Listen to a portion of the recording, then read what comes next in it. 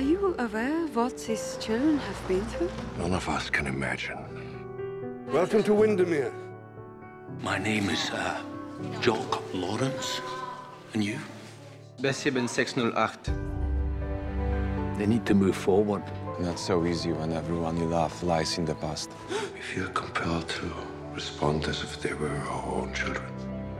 Eventually, when your strength is fully restored, you will build a new life.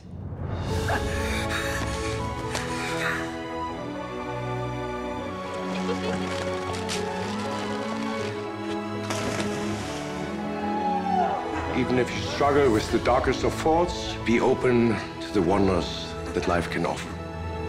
Especially then, to you, my dear children, L'chaim.